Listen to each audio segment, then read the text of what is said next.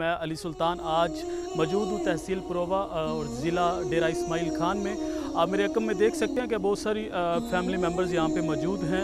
आज अल्हम्दुलिल्लाह Alkhidmat foundation Pakistan Amal foundation Malaysia के ताउन के साथ आज 500 घरानों के अंदर राशन की तकसीम की जा रही है।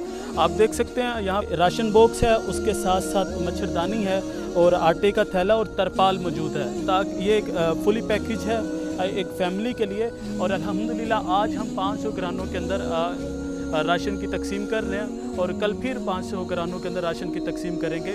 ये राशन उन लोगों के अंदर तकसीम किया जा रहा है जिनके घरों के अंदर जिनके गाँव के अंदर सैलाब ने तबाहकारी मचा रखी हैं।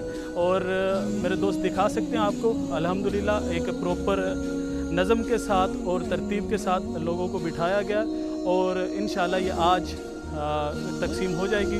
मैं शुक्रिया अदा करना चाहूँगा अलखिदमा फाउंडेशन पाकिस्तान के साथ ताउन करने वाले तमाम हजरात का, कि जिन्होंने इस मुश्किल घड़ी में हमारे इन भाइयों का साथ दिया, इन भाइयों को सपोर्ट की। आइए मिल के मुल्क पाकिस्तान की तमीर और तरक्की में अपना कलीदी करदार अदा करें। आइए मिलकर इस मुश्किल घड़ी में अपने मुश्किल में घिरे भाइयों की सपोर्ट करें।